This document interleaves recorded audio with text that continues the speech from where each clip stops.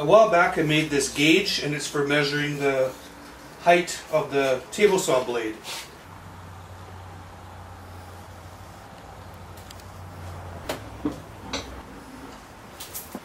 And today what I want to do is make another gauge, but it's going to measure the height of the blade, but it's going to be measuring very fine. Um, I'm going to be using a dial indicator so it can measure one one thousandth of an inch. To start my gauge, I'll use this block of oak. It's a 2 by 4 So I'll cut this block to about three and a half inches.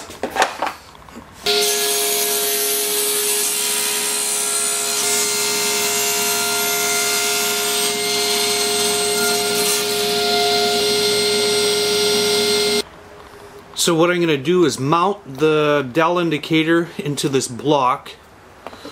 So I'll use my hole saw to cut a small piece out of here.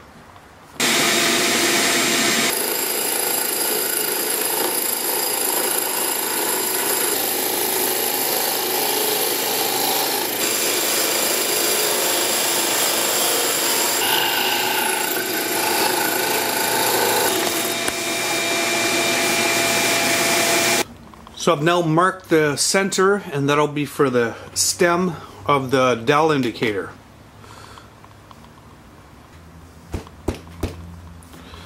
And now I can go ahead and drill that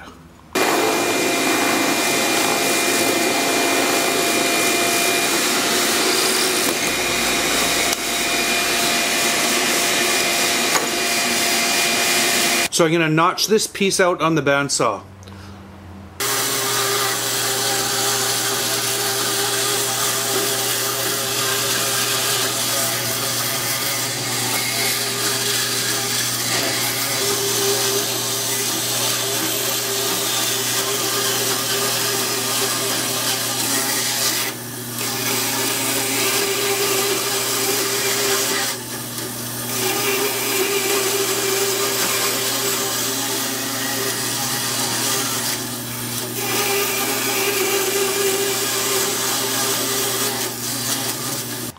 So here's all the pieces so far and what I'm going to do is put this in here and it's a very tight friction fit but what I'll do is add a little set screw and that'll fit right in here.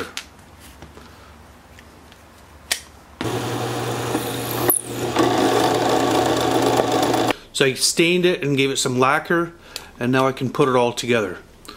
So here's the dial indicator.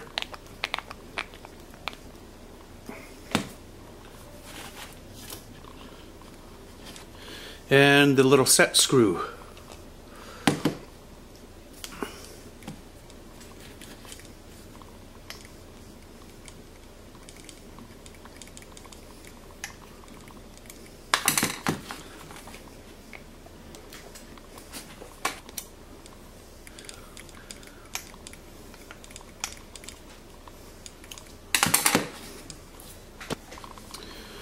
And I made this little small piece for the base so I'll just tap it on